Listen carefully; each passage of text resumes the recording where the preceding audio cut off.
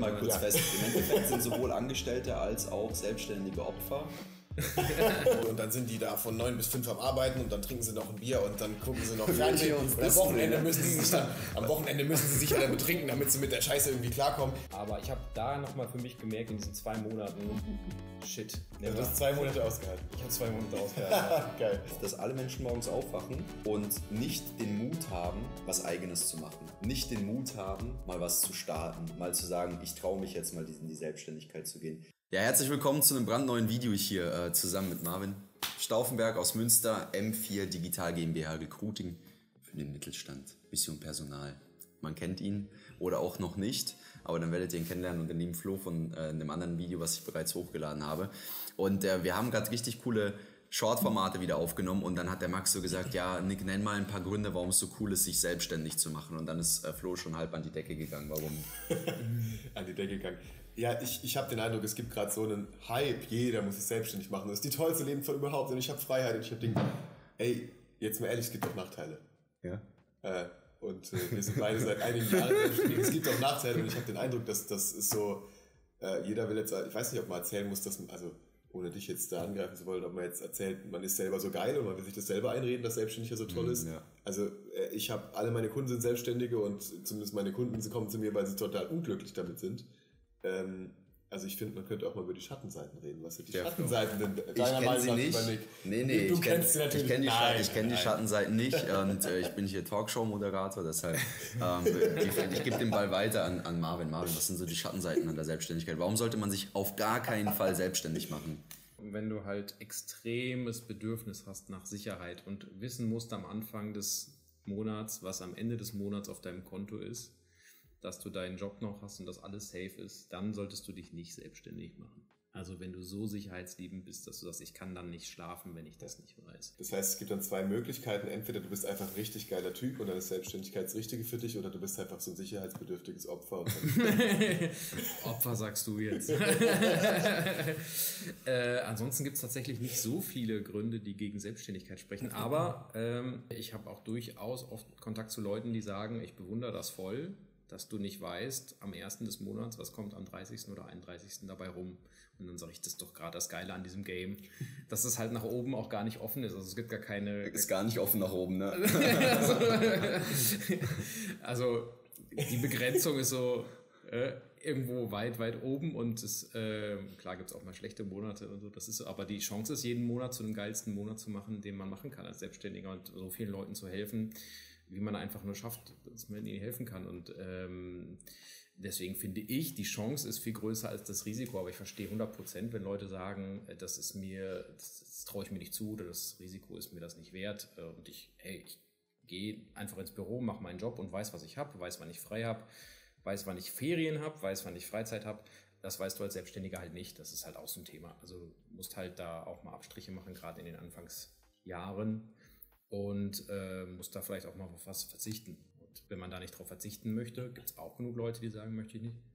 Dann werd nicht Unternehmer, also zumindest nicht selbstständiger Coach, Berater, Trainer oder sonst was auch immer. Ansonsten denke ich, gibt es hunderttausend andere Gründe, die halt dafür sprechen, selbstständig zu werden. Ja, ich, ich kann an der Stelle mal kurz äh, ungefragt den lieben Bent einmal zitieren, weil, äh, also der Bent hat in einem Coaching-Call mit unseren Klienten, da war ein Klient da, der hat gesagt, du schau mal, ich habe eine Selbstständigkeit, die läuft bereits richtig geil, aber die macht mich halt komplett fertig und gesundheitlich geht's halt nicht mehr und ich habe jetzt Agenturgeschäft kennengelernt und mega gut und ich habe jetzt verstanden, wie es geht und ich bin jetzt hier schon ein paar Monate dabei und habe es für mich selbst und meine Firma ausprobiert und Wahnsinn, es funktioniert.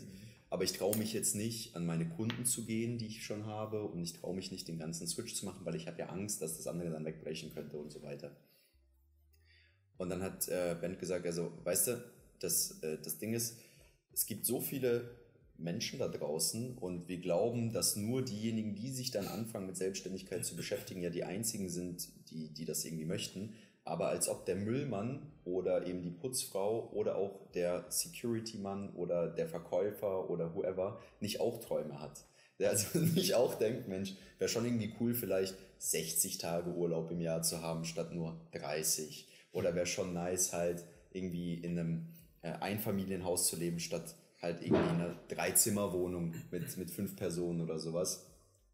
Aber unsere gesamte Gesellschaft und ich bin immer noch im Zitat, baut ja darauf auf, dass wir Menschen haben, die jeden Morgen aufstehen und ihrer Arbeit nachgehen. Und das ist auch immer so, äh, was, was gerne Menschen zu mir sagen, so, ja, das würde ja nicht funktionieren, wenn alle selbstständig wären und so. Und wer bringt dann den Müll weg und wer füllt dann nachher die Regale auf und so weiter. Und sagt ja auch keiner, dass das keiner tun soll. Aber baut darauf auf, dass alle Menschen morgens aufwachen und nicht den Mut haben, was eigenes zu machen. Nicht den Mut haben, mal was zu starten, mal zu sagen, ich traue mich jetzt mal in die Selbstständigkeit zu gehen, ich traue mich jetzt mal das und das zu machen, sondern sagen, ach komm, ich packe die einfach wieder in den Koffer und dann träume ich wieder davon heute Nacht und dann morgens sage ich wieder, ach egal, kann auch bis morgen wieder warten oder auch bis nächstes Jahr oder sowas, ne? Weil irgendwie, wie du gesagt hast, ich brauche gerade ein Haus und irgendwie meine Frau ist schwanger und so weiter und ich weiß jetzt nicht, ob es Sinn macht, einen neuen Job zu starten oder in die Selbstständigkeit zu gehen. Und dann hat Ben zu ihm gesagt, ja, sei, sei du doch einfach mal morgen derjenige, der den Mut aufbringt, es zu tun, weil alle anderen machen es ja schon nicht. Ne? Also die es noch nicht sind eben. Sei du doch einfach mal der Mutige, weil was, was soll denn schon passieren? Sollte ich mal reinwerfen hier in die Diskussionsrunde. Was sagst du? Ja, ist interessant, dass wir kommen, also das ist ja eine Argumentation aus einer, ich sag mal, sehr roten Position. Ne? Jetzt sind wir ja alle drei Männer mit ordentlich Testosteron, wir sitzen hier am Ding und wir sagen, ja, du solltest das machen, was du für das Richtige hältst und, und, und, und du solltest dich trauen, du solltest mutig sein und so. Ja, alles schick. Aber es, und wir haben auch festgestellt, es gibt Menschen, denen sind andere Sachen, zum Beispiel Sicherheit, wichtiger. Gleichzeitig finde ich, und das ist das, äh, wo ihr euch, finde ich, so schön rausredet, es gibt auch Schatten, es gibt auch emotionale Schattenseiten der Selbstständigkeit. Ja, die Grenze äh, nach, also nach oben ist dein Verdienst offen, nach unten aber auch. So, und wenn du zum Beispiel einen Monat hast, wo es dir vielleicht einfach mal nicht gut geht, Freundin getrennt, krank gewesen, keine Ahnung, so, das ist der Moment, der Moment, wo du auch vielleicht mal äh, auch als Alpha, sage ich mal, Unterstützung brauchen könntest. Das ist der Moment, wo dein Business nämlich auch nicht laufen wird. Das ist der Moment, wo dich die, die Anforderungen der Kunden, die dich sonst vielleicht nicht interessieren oder äh, nicht interessieren schon, aber nicht stressen, auf einmal dir zu viel werden. So und das sind finde ich auch die Phasen, die es gibt. Und ich glaube, also bei dir weiß ich nicht, bei dir weiß ich, dass du auch schon solche, auch schon schlechte Phasen hattest. Und das sind die Phasen, die in dem ganzen Hype finde ich aber verloren gehen. So äh, du bist alleine. Du bist als Selbstständiger alleine, selbst wenn du Geschäftspartner hast. Du bist, also ja, es ist schön, selbst verantwortlich zu sein, aber du bist auch alleine. Und äh, du entwickelst dich weiter. Meistens ist es so, dass die meisten deiner Freunde deines Umfeldes Angestellte sind. Du entwickelst dich weiter, du gehst in einen ganz anderen Weg. Und je, je länger du das machst und je mehr du dich auch als Person weiterentwickelst, desto mehr entfernst du dich von deinem Umfeld. Umso einsamer wird es. Im Jiu-Jitsu sagt man, ein, ein, ein Schwarzgurt ist der, ein, der einsamste auf der Matte und das stimmt. Das ist die Zielschreibe auf dem Rücken. Wenn ich als Schwarzgurt irgendwo in ein Gym reinkomme, wo mich die Leute nicht kennen, will jeder versuchen, also das ist irgendwie der, der, der große Büffel, den man töten will. Also, ich bin nicht mehr Teil des Teams, sondern ich bin freiwillig. So, und es gibt, finde ich, Zeiten und Tage, wo, wo man das sogar genießt, weil das hat ja auch was Geiles, darüber sprechen wir die ganze Zeit, aber es mhm. gibt auch Zeiten und Tage, wo das einfach echt anstrengend ist. Und wo ich mir, sage ich ganz ehrlich, auch manchmal denke, boah, es wäre jetzt auch echt entspannt, einfach jetzt mal so zwei Wochen angestellt, irgendwas Hirnloses machen. Geld reinholen lassen. ja, und einfach mal so, ah, oh, jetzt mal regenerieren, keiner guckt auf mich, ich bin nicht der, der, der immer im Fokus steht. Fände ich auch mal geil manchmal. So, das ist, finde ich, eine Schattenseite. Du bist einsam. Mhm. Irgendwo. Ja. Ja, gelben Schein holen, Kaffee holen, rauchen, ja. lange auf Toilette sein auch, sage ich, weil das Lustige ist, äh, in, in, in einem Betrieb von einem Kollegen von, von mir, der angestellt ist in dem Kontext, der, äh, die haben so EMPs auf den Toiletten und so weiter in den Pausenräumen gebaut, also um halt dafür zu sorgen, dass die Leute kein Netz haben auf dem Handy. Das heißt halt, wenn die, weil die, weil die halt gemerkt haben, dass ja. mega viel Arbeitszeit auf den Toiletten verloren geht, mhm. weil die halt da sitzen ne, und dann sind die halt die ganze Zeit am Scrollen ja. und machen weiß ich was alles. Ja. Haben da EMPs eingebaut, damit die Leute halt schneller wieder vom Topf kommen. Ja. und das, also ich, ich finde, das ist ja das, das Krasse. Du wirst als Angestellter in der Regel nach Zeit bezahlt. Ich könnte mir nicht vorstellen, zu, als Angestellter zu arbeiten, nach Zeit bezahlt zu werden. Aber das ist gleichzeitig auch sehr entspannt. Ja, Na, weil du musst ja, dich nicht die ganze Zeit hinterfragen, du machst halt, was dir gesagt wird. Das ist doch auch schön. so. Du kriegst halt planbar dein, dein Geld aufs Konto. Ne? Egal, ja. ob du jetzt einen guten Tag hattest oder einen schlechten, oder Richtig. ob du zwei Wochen krank warst, oder ob du einen Mindestschaden genau. hattest und acht Wochen ausfällst, oder ja. whatever. Ne? Genau. Du hast das Thema Umfeld jetzt eben angesprochen.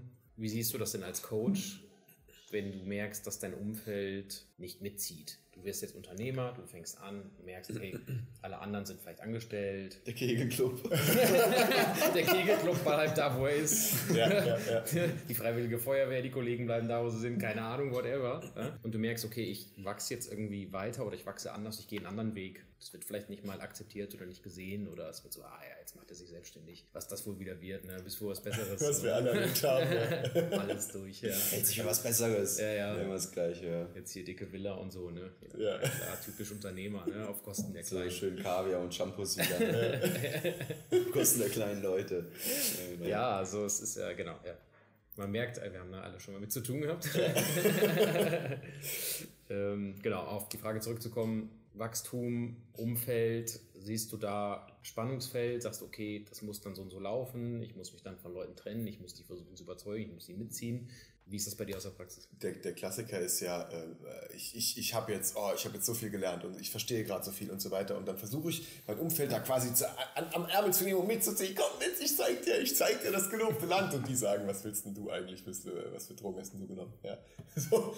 Und das höre ich dann ganz oft, wo dann die Leute zu mir kommen und sagen, ey Flo, ich, ich, ich verstehe, die wollen es irgendwie nicht, ich verstehe es nicht und, und, und ich habe nur noch Konflikte und äh, dann hören sie hier, du bist der Durchschnitt der fünf Menschen, mit denen du die meiste Zeit verbringst. Dann meinen sie, sie müssen ihr ganzes Umfeld einfach alle rausschmeißen und jetzt nur noch mit selbstständig zu tun haben. Und dann hast du ein Umfeld aus, aus Menschen, aus irgendwie Alphas, die, die, die äh, so ihr Ding durchziehen, deswegen ja auch erfolgreich sind, so die, weißt du, aber fünf einsame Wölfe, die nie gelernt haben, so richtig in Beziehung zu gehen, ist halt immer noch fünf einsame Wölfe. Kann im Business-Kontext gut funktionieren. Aber also da gibt's nicht die eine Lösung. Ich habe auch, ich habe immer noch gute Freunde, die angestellt sind. Und die werden das auch bleiben. Also hoffe ich. so, ich äh, Also angestellt oder deine Freunde? Angestellte meine Freunde, ob sie, ob, ob sie sich selbstständig machen, ist mir egal. Also ich glaube, das sind zwei verschiedene Dinge. Auf der einen Seite, ja, es ist unglaublich wichtig, guten Input auf Augenhöhe zu bekommen und Business Input auf Augenhöhe von Angestellten funktioniert für einen Selbstständigen nicht. Kannst, vergiss es. So. Und ähm, nur Zeit mit, mit Angestellten verbringen ist auch nicht gut, weil, weil du übernimmst das Mindset und die Einstellung und so weiter. Selbst wenn es dir bewusst ist, dass so, so viel kannst du gar nicht unbewusst, äh, bewusst ab, ablocken. Das ist wahr. Das ist aber die eine Seite der Medaille. Die eine andere Seite der Medaille ist, ganz ehrlich, die meisten Unternehmer, die ich kenne, haben Bindungsprobleme. Die können nicht gut in Beziehung gehen. Die haben keine vertrauensvollen Beziehungen. Die sind teilweise deswegen so erfolgreich, weil sie halt ihre Strategie, das geht dann meistens bis zurück in die frühe Kindheit, ihre Bindungsstrategie ist Leistung. Deswegen sind sie so erfolgreich und deswegen sind sie auch nicht angestellt. Aber jetzt mit solchen Leuten irgendwie zu versuchen, das, was man mit den Angestellten, die vielleicht in Beziehungen sogar viel besser und viel stärker sind, die weg, wegzuschmeißen auf gut Deutsch und hinzugehen und mit Menschen, die das eigentlich gar nicht können, versuchen, Beziehungen aufzubauen.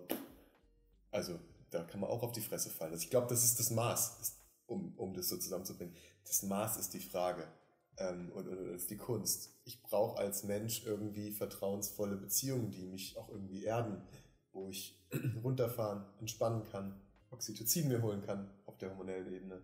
Und das ist nicht unmöglich, aber schwieriger mit den meisten Unternehmern, weil die genau das gleiche Problem haben. Ne? Und dann bin ich auf der Mastermind, das ist geil. und ich denke, oh, so jederzeit. Aber ich brauche das auch im Alltag. Und ich glaube, die Kunst ist, ist das Maß. Das beantwortet das deine Fragen? Ja, ich denke schon. Ich habe mich gerade dabei parallel gefragt, wen hat Nick Geringer so auf dem Prozess zurückgelassen? Also, äh, du bist ja jetzt auch schon ein paar Jahre dabei, hast dir richtig was aufgebaut, hast dir einen Namen gemacht, du gehst in die Sichtbarkeit, du machst Videos wie dieses hier, du machst Ads, du machst Podcasts, darüber haben wir uns kennengelernt vor drei Jahren zwischen. ja. Ähm, Den Podcast-Folge, die er gehört hat, mit dem Titel, wie Social Media Marketing wirklich funktioniert. Und dabei ging es eigentlich gerade nur um meinen Selbstfindungsprozess und dass ich gerade nicht weiß, was ich machen will. Und, und ich so irgendwie voll Depri war und so. Und einer so in die Kommentare geschrieben hat, so, ja, geht ja irgendwie nicht um Social Media so. Und äh, warum interviewt ihr den? Der ist doch so traurig und so.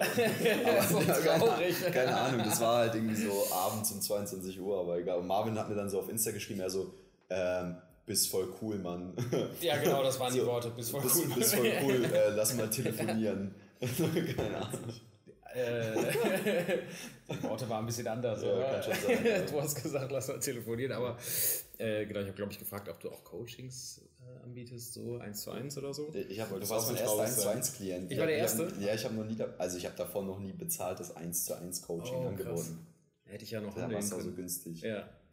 ja, im Nachhinein war es günstig Tausende habe ich genommen im Monat irgendwie und wir haben Taui. irgendwie viermal, fünf, sechs Mal telefoniert. Also ja. Im Monat, ja, ja, auch im Urlaub und so. Nick Geringer war am Start. Ja, ja und du hast von äh, Hacky, deinem dreibeinigen Husky, erzählt in dem, in dem Interview. Ja, cool. Wer adoptiert einen dreibeinigen Husky? Geiler Typ. Das ist er, der Messias. Irgendwie machte das alles Sinn, was in dem Interview so drin war. Und der, ja, drei Jahre später sitzen wir hier, nachdem wir ja schon auf Ibiza zusammen äh, gesessen haben, in der Mastermind damals. Äh, genau, nichtsdestotrotz, Frage bleibt, wen hat Nick Geringer auf dem Weg zurückgelassen? Musste, wollte, konnte? Gab es da wen? Wenn du jetzt zurückblickst, so Mhm. krasse Reise hingelegt.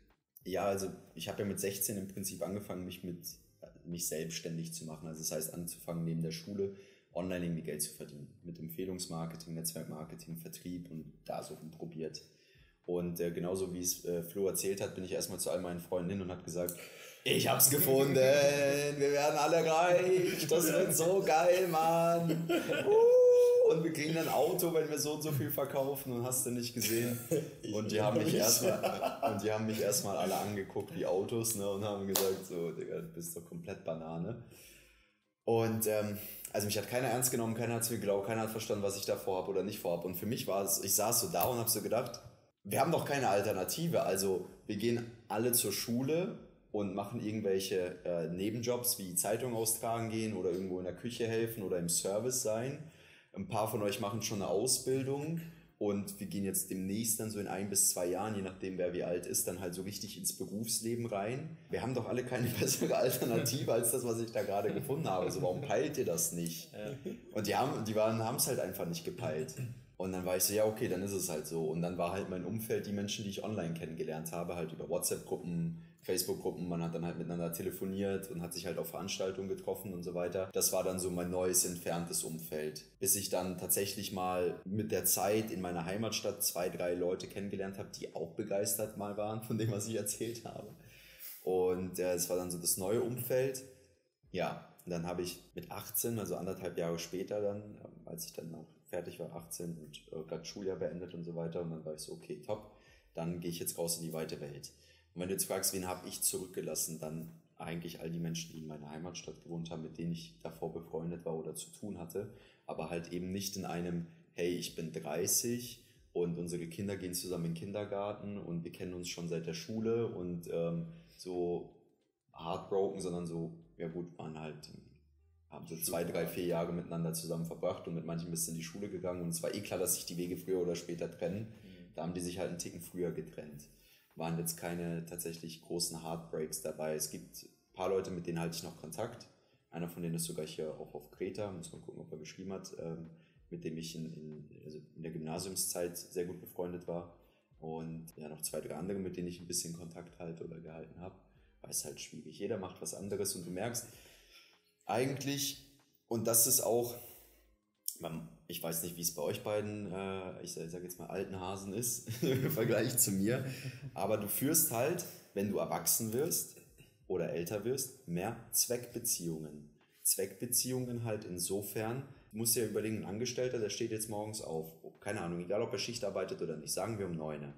Dann sieht er kurz seine Frau, seine Kinder, falls sie nicht schon weg sind, sagt Tschüss, Kuss, Kuss und dann fährt er zur Arbeit. Und dann sieht er bis 17 Uhr ein und dieselben Gesichter, die er jeden Tag sieht. Und mit diesen Menschen führt er ja auch eine Beziehung, aber er führt ja mit denen im Regelfall nur auf der Arbeit eine Beziehung. Manchmal entstehen ja auch Freundschaften dort, ne? aber Arbeitsfreundschaften. Manche treffen sich danach auch später.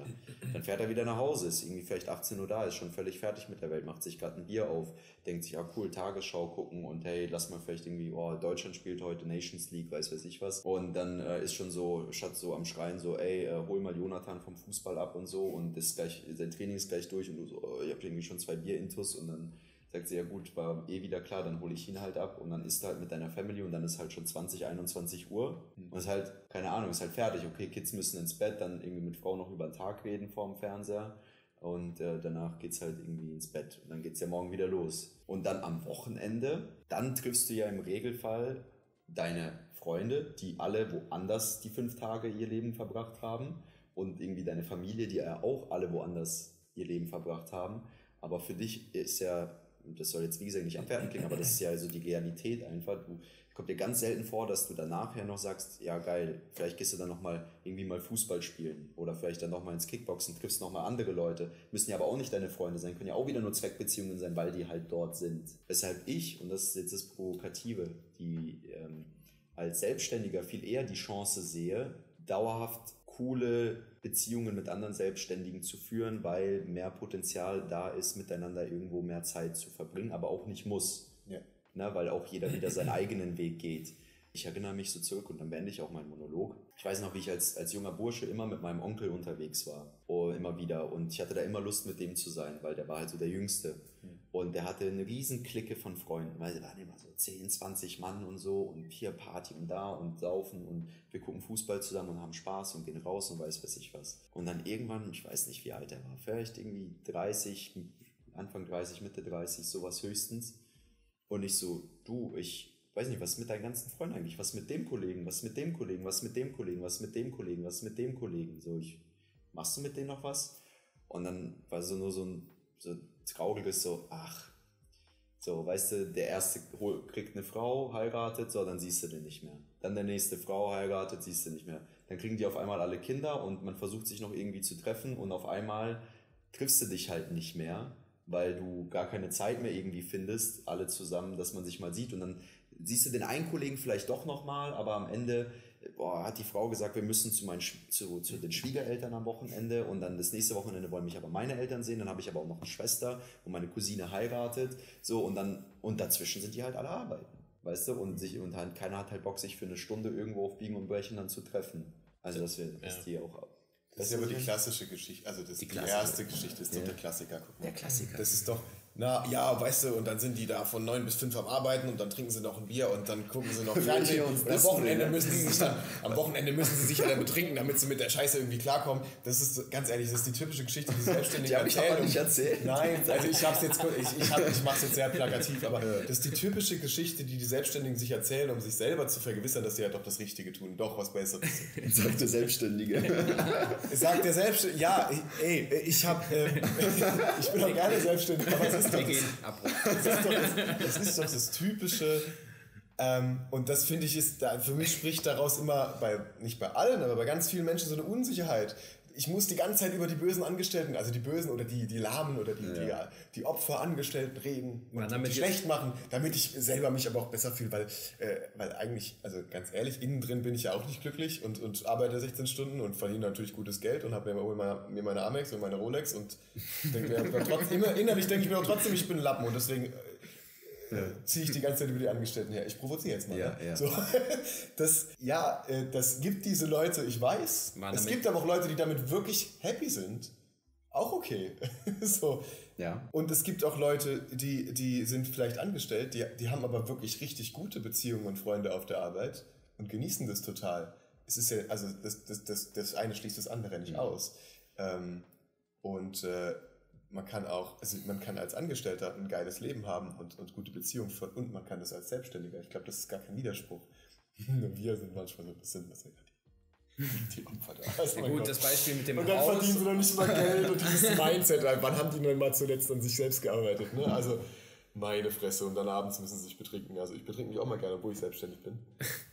Also halten, wir, halten wir mal kurz ja. fest. Im Endeffekt sind sowohl Angestellte als auch selbstständige Opfer und äh, ja, jetzt ist, und, weil wir alle die gleichen Probleme haben und Herausforderungen nur mit anderen Gesichtern äh, oder halt anderen Themen. Und äh, was ist was ist jetzt die Lösung? Aber da also, vielleicht rein. Ich fühle mich gerade wie in so einem Mar Markus Lanz Talk. Ja. so, okay, alles klar. Da ähm, gehen wir jetzt nochmal tiefer rein.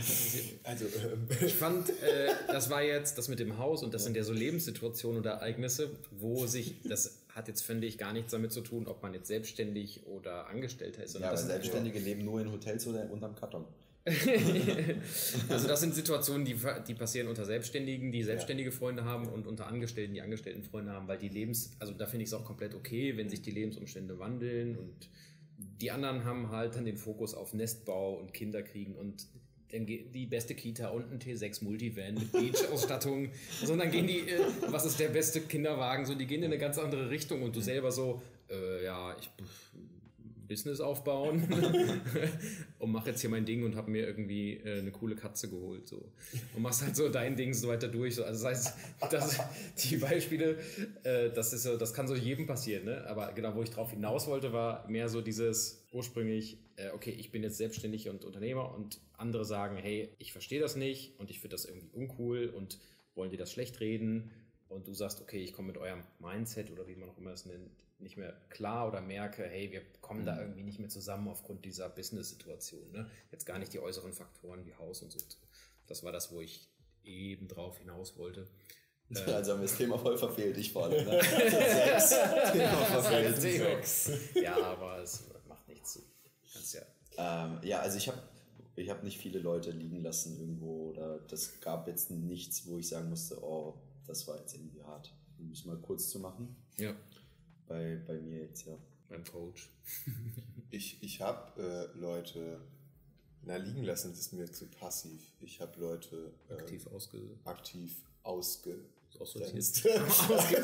aus, ich, ich habe Leute aktiv aus meinem Leben entfernt. Ja. Ähm, das waren aber Angestellte und Selbstständige, mhm. wenn, als ich der Meinung war, dass mir das nicht gut tut. Aber das hatte nichts mit dem Beschäftigungsstatus zu tun sondern einfach mit, das tut mir nicht gut. Aus den unterschiedlichsten Gründen. Aber ich habe niemand aus meinem Umfeld entfernt, nur weil ich gesagt habe, dieses Angestellten-Mindset passt nicht. Mhm. Sondern ich gehe davon aus, dass wir alles tun, was wir tun und dass wir jede Entscheidung, die wir treffen, treffen, um glücklich zu sein. Ich, vielleicht ist das auch das Fazit, von warum ich jetzt auch da so ein bisschen provokativ eingestiegen bin. Es gibt verdammt unglückliche Angestellte und die haben wir immer vor Augen. Aber es gibt auch verdammt glückliche. Und es gibt verdammt glückliche Selbstständige, die haben wir auch immer vor Augen. Aber es gibt auch verdammt unglückliche, ich weiß es nämlich. Also äh, viele von denen kommen dann zu mir, ja. Und das ist nicht das, ist nicht das eine Man darf sich gar nicht mehr als Flohkunde outen oder so. Die sind alle unglücklich. Nein, die sind nicht alle unglücklich. Ich arbeite nicht mit ihm zusammen. Es kommen ja auch viele, es kommen ja auch viele zu mir wegen, wegen ganz anderen Themen, weil, weil, weil sie ihre Mitarbeiter besser führen wollen oder sich einfach weiterentwickeln wollen. Das heißt nicht, dass sie... Nein, nein, gar nicht. Aber gut, dass du es sagst. Das könnte jetzt falsch ankommen. Ähm, oder einfach, wo man effektiver sein will. Äh, aber es gibt, also es gibt beides. Und es gibt beides auf, auf, auf jeder Seite. Und ähm, also ich bin froh, dass ich auch äh, angestellte Freunde habe. Ja.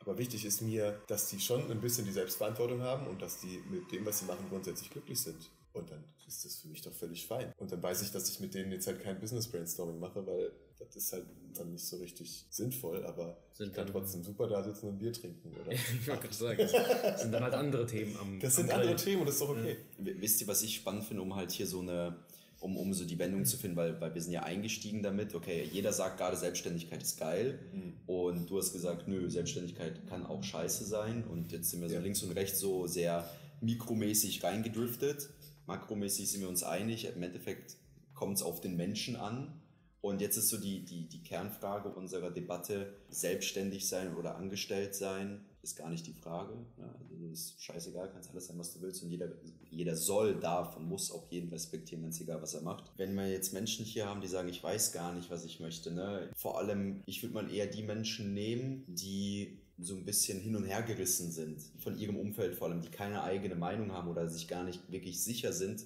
was sie eigentlich selbst wollen.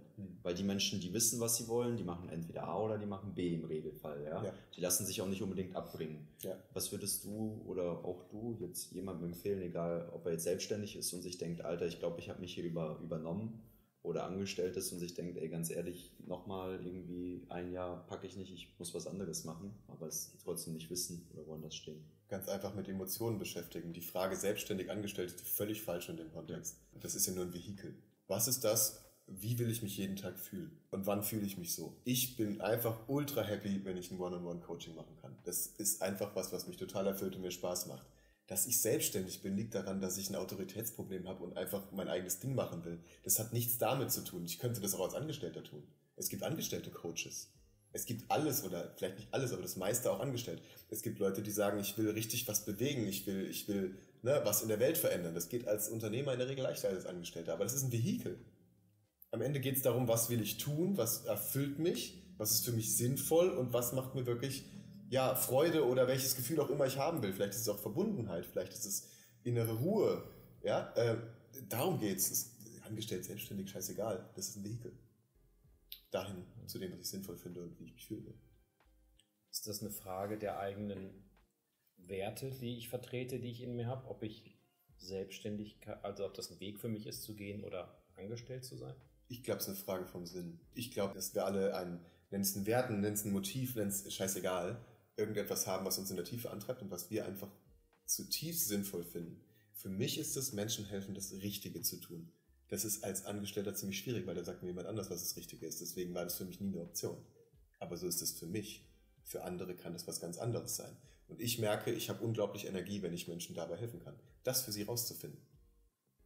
Und wenn ich das klar habe, was ist das, was mir wirklich Energie gibt und mich erfüllt, dann kann ich, also das ist der erste Schritt in meinen Augen. Und dann kann ich weiterschauen. Und dann kann ich auch nach, nach Gusto und nach Persönlichkeit vielleicht auch gucken, ist da vielleicht angestellt oder selbstständig oder, oder was ist da das Richtige? Aber, aber das ist für mich wäre das der erste Schritt. Ich finde das da in dem Zusammenhang habe ich eben noch gedacht, so spannend, so gut, weil du ja als Coach aktiv sagst, ich helfe Unternehmern dabei, glücklich ja. zu sein. Ja. Also ich helfe nicht Unternehmern dabei, ihre Performance hochzuschrauben oder mehr Sales zu machen, sondern du sagst, hey, Unternehmer müssen auch glücklich sein. Also ähm, das ja. ist ja so, eine, so ein Vokabular, was irgendwie, ich glaube, selten so zusammen in einem Satz oder in einem Werteversprechen zusammen vorkommt. Ne?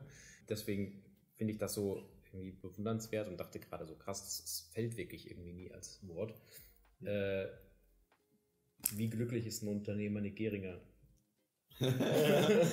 Kommt auf die Tagesform an. So, wirklich. Ja, ich bin schon, ich bin schon sehr happy auf jeden Fall. Ne? Du bist aber auch so, ich so bin, Basislevel immer ziemlich happy. Ich bin, ja, ich bin schon echt sehr happy, muss ich sagen, mit, mit allem, wie es ist und so. Und ähm, also das Einzige, ich bin halt einfach nur verdammt unzufrieden. Ne? Also wirklich unzufrieden, so einfach mit dem, was, was ich weiß was ich kann und was wir alles noch hinkriegen können und hast du nicht gesehen und dem Punkt, wo man ist und was irgendwie so für Fehler auf dem Weg passieren und irgendwie für Hindernisse da sind, wo ich dann so denke, das kannst du nicht sein, jetzt wirklich. Jetzt weißt du so. Und da kriege ich dann halt Puls einfach. Und auch ähm, vor allem auch bei den, bei den Sachen, die ich einfach aus Eigeninteresse machen möchte, umsetzen möchte, erleben möchte, sehen, erfahren möchte wo ich denke, okay, da, darf's, da, da, da bedarf es noch etwas mehr Kapital für. Okay, dazu muss halt dann das Unternehmerische nochmal entsprechend laufen. So, und das ist dann echt das Einzige, was mich dann unzufrieden macht oder halt auch mal mich in einen gewissen Unglücklichkeitsstate vielleicht mal zieht, wo ich so da sitze, so depri und denke so, oh, wirklich so scheiße, vielleicht schmeiße ich einfach da raus und mache einfach nur alleine hier irgendwie, lass mich in Ruhe. weißt du?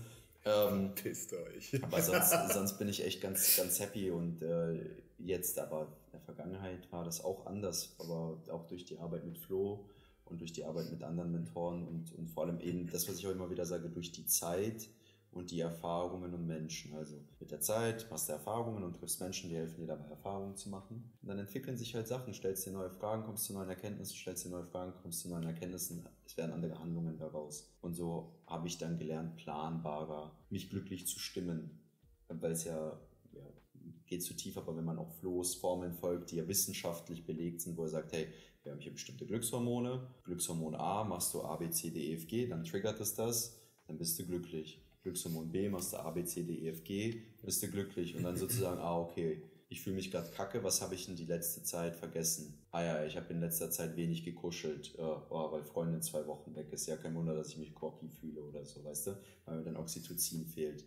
Oder dann irgendwie so, bin 15 Uhr schon müde am Einschlafen, denkst, oh, was für eine Scheiße, eigentlich muss ich noch acht Stunden arbeiten. Und dann so, oh, was, was habe ich nicht gemacht? Ich war seit drei Wochen nicht mehr im Gym, alles klar, dann weiß ich, mir fehlt Glückshormon C, weißt du? Und dann hast du es irgendwie so planbarer gemacht, so ein bisschen. Das ist natürlich nur ein Teil der Miete. Das ist mal die Antwort. Aber bevor wir hier wirklich final fertig machen wollen, was wir komplett ausgelassen haben, was er ja gar nicht fragen kann, weil ihm die Infos dazu fehlen, ist, dass du ja einen Schlenker gemacht hast, nochmal ins Angestelltenverhältnis zu gehen und dann doch wieder raus bist daraus. Also deshalb könntest du die Debatte eigentlich mit am besten nochmal so für dich, für dich nur dich persönlich, Ben, weil warst du angestellt, dann selbstständig, dann angestellt, dann selbstständig oder direkt selbstständig, angestellt, selbstständig? War Schule, Abitur, Studium, im Studium Selbstständigkeit, angefangen für zwölf Jahre, glaube ich, äh, dann gesagt, okay, das ist mir aufgrund von persönlichen Lebensumständen easy. Also es hat sich einfach viel geändert in der Zeit. Wäre jetzt zu breit, das aufzu, äh, aufzurollen, aber habe gemerkt, okay, mir wird das auch da als Angestellt, äh, als Selbstständiger zu viel. Ja. Ähm, ich möchte die vorgegebenen Strukturen in Angestelltenverhältnis, weil ich gedacht habe, das ist meine Lösung. Mich dahin zu setzen, zu kommen morgens, dann wird dir gesagt, was machst du, dann kommst du nach, gehst du nachmittags, hast deine Zeit abgesessen, äh, abgearbeitet und ähm, bist dann glücklicher dadurch. Ja, Habe ich gedacht. gedacht. habe ich gemerkt, ist nicht so. Das heißt, ich habe äh, hab mich anstellen lassen bei einem Kunden, äh, habe nebenbei die GmbH noch gehabt, weil so schnell konnte ich sie nicht liquidieren. Habe beides gemacht. Ja. War auch noch der zusätzliche Struggle. Sagen wir selbstständig und angestellt. Das ist mir mit Mitte 30 auch nicht mehr der Jüngste für solche Experimente. Und habe gemerkt, ey, das ist überhaupt nicht meins. Ja. Wenn das von oben halt, wie du es gesagt hast, vorgegeben wird, dass das, das, das, das, macht das so. Ja. Mach das so, guck mal da. Und nee, das können wir nicht, weil intern. Und du denkst dir, als Selbstständiger könnte ich es vielleicht selbst in die Hand nehmen könnte ein paar Sachen anders entscheiden. Das heißt, ich habe da dann nochmal gesehen, ah, okay, ich kriege diesen Proof, dass ich von vornherein alles richtig gemacht habe, selbstständig zu sein. Ne? Mhm. Äh, das hat nichts mit den Kollegen zu tun oder der Firma, es war alles super nice. Aber ich habe da nochmal für mich gemerkt, in diesen zwei Monaten, shit. Ne? Also du hast zwei Monate ausgehalten. Ich habe zwei Monate ausgehalten. Geil. Also, ja. okay. mein Körper hat irgendwann zugemacht. Mein Körper hat irgendwann zugemacht. Das war, glaube ich, schon nach sechs Wochen oder so. Oder drei. Und dann nochmal nach sechs. So. Wie gesagt, hat es auch ein paar andere private Zustände, die das äh, beschleunigt haben. Aber ich habe einfach dann ich auch echt schnell gemerkt, ey, das ist nicht meine Welt. Und genau aus diesen Gründen. Und ähm, ich bin auch in die, in die, vielleicht das noch zum Abschluss, in die Selbstständigkeit reingeschlittert. Ne? Ich hatte das gar nicht groß als Ziel. Ich wollte mal angestellt irgendwo sein und Pressesprecher werden für einen geilen Automobilladen, ne, BMW, Ferrari, so was. Halt irgendwie Pressearbeit machen und gedacht, ja, geil, Selbstständigkeit kam gar nicht in Frage. Und dann äh, hat ein Kollege damals äh, im Studium gesagt, hey, äh, lass doch zusammenarbeiten, du kannst auch irgendwie gut schreiben, äh, lass doch irgendwie uns zusammenlegen, brauchst nur ein Gewerbe. Ich so, ein Gewerbe. Ja, gehst zum Gewerbeamt, zum Ordnungsamt, meldest ein Gewerbe an, 20 Euro. Zack, nächsten Tag war ich selbstständig. Ja? Bin da so reingeschlittert und denkst auch nicht drüber nach, wenn du irgendwie 22 bist, so äh, dann schreibt irgendwann das Finanzamt, hallo, haben dich angemeldet, wir hätten gerne Geld. Äh, Finanzamt? Mhm. Rechnung muss ich schreiben mit Rechnungsnummer und Datum. ja, dann fängst du so an. Ne? so, ich bin da so reingeschlittert und habe gemerkt, ey krass, das ist für mich, um mich so vollkommen ausleben zu können, genau das Richtige. Mhm. Ne? Muss ich selber fühlen können irgendwann. Das ist mhm. dann so. Man darf jetzt nicht jeden Tag sagen, oh, heute fange ich mal um 16 Uhr an und penne erstmal und nee, da sind auch wichtige Sachen, die darf ich halt nicht verschlafen. Da muss ich mich halt auch ein paar Regeln halten. Ne? Aber um es zum Abschluss Schluss zu bringen, ich habe es da einfach nochmal komplett gemerkt, was sind die zwei unterschiedlichen Welten, was möchte ich nicht und was möchte ich auf jeden Fall. Und das ist selbstbestimmt. Höchster Wert bei mir ist auch Freiheit. Hm. Das heißt, äh, für mich ist so Unternehmertum genau das Richtige, für wen anders vielleicht nicht. Seitdem weiß ich es noch viel eher, ähm, dass es halt für viele Leute auch nichts sein kann das so, wo du drauf hinaus wolltest? ja, nee, alles cool. Ich wollte auf gar nichts hinaus. Ich wollte es nur kurz nochmal einbringen hier in die lustige, spontane Runde. Ähm, hast du noch was? Ansonsten machen wir Feierabend? Nee, ich habe Hunger. das habe ich. Ja. ja. Vielen Dank fürs Zuschauen und Zuhören. Schreib doch gerne in die Kommentare, was du von der Debatte hier hältst, beziehungsweise was deine Meinung dazu ist. Lass ein Abo da, klick auf den ersten Link in der Beschreibung und ähm, ich freue mich. Bis dann. Ciao.